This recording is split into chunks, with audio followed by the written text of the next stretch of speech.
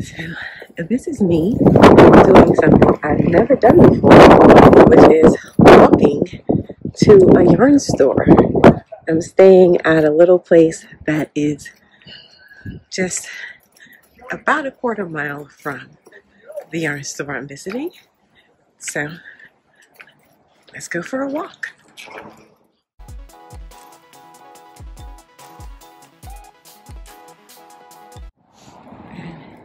There is quaint little Balzac and Company. Um, looks like there are people inside, like they're having a sit and stitch or something. So this is Balzac and Company in Ocean Grove, New Jersey. And this is their hand-dyed wall. As you can see, they have a lot to choose from. I love seeing the hand-dyed wall as soon as I walk in because it's just such a huge selection. That's Knitting Bro, that's Neighborhood Fiber Co., Asylum Fibers. They have so many choices.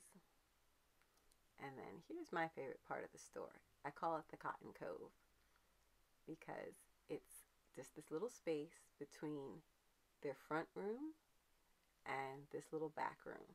So it's a small little alcove and these, I think these are maybe all hand dyed cottons on this wall.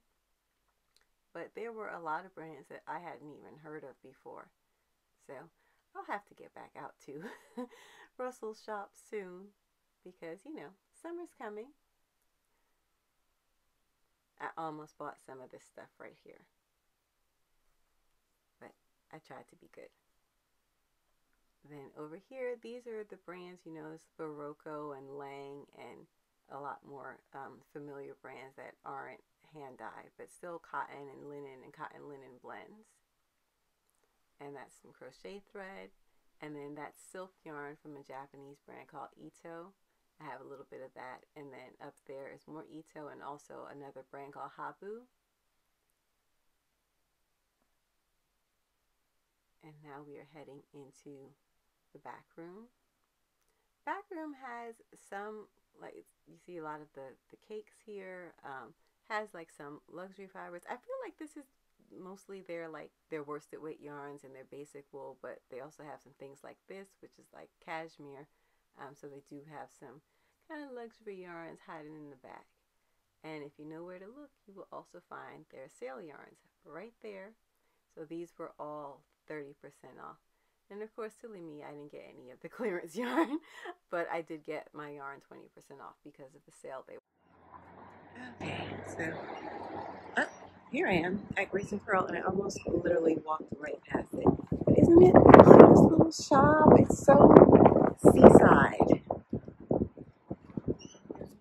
So this is Grace a Purl. It's the most charming little shop. And technically they're not open today, but the owner is so nice and she let me in because she saw me outside looking all sad. Their little front table. I love this mirror they have back here. Look, they have this giant mirror with their name in it. And then here's their second room, and they have books. So it's a yarn store and bookstore. It's like all the good things.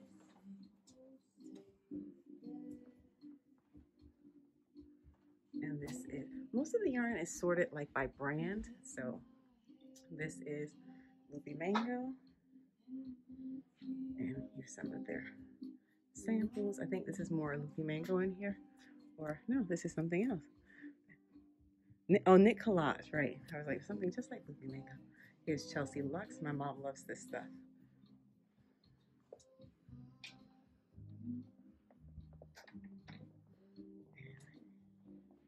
They have little odds and ends, a lot of um, handmade items from local artisans.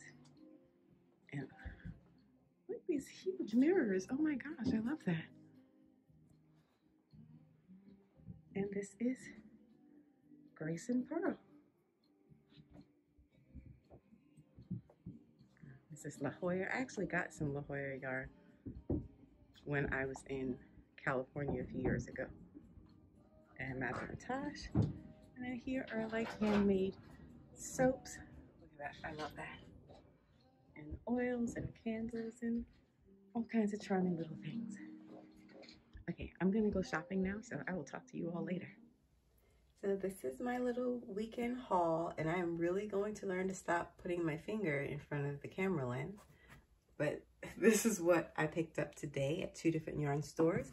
So these three are from uh, Balzac and Company. This was the last day of their 20% off sale, so I was very happy to get in there when I did. These two, the solid colors, are from Amano, and they are cotton and bamboo, yes.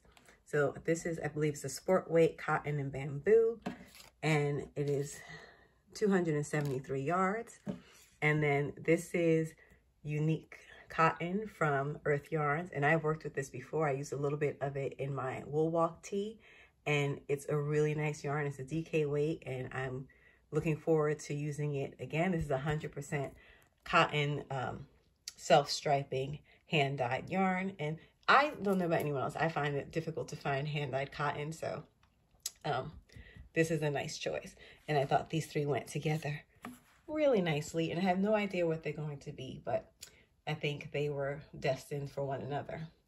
And then at Grace a Purl, my mom has several skeins of this is actually two skeins together and she has several of these and I've been jelly since she got them. So this is Chelsea Lots. This is two yarns. One is called Cobblestone and it has these little nubs in it.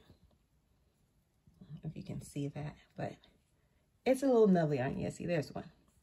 Um, and it is merino and nylon, and that, that by itself is 438 yards.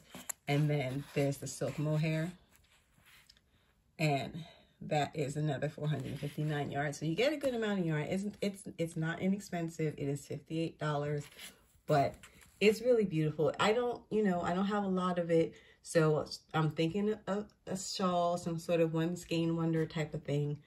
But I might be able to get something a little bit bigger though if I don't hold them together, but we'll see. But yeah, that's what I picked up today. Um, y'all gonna have to forgive me. I am new to this vlogging thing and I didn't show y'all the room or anything, but we're gonna learn as we go. so as you can see, our channel is still growing and we're still figuring things out. Just, just bear with us. But I'm really excited about what I picked up today. And the first yarn store I went to, uh, Balzac & Co., I walked over there. It was just very pleasant. And then Grace a Purl was only a 10 minute drive. So this has been a lovely day and I'm going to chill for a minute and then see about some food.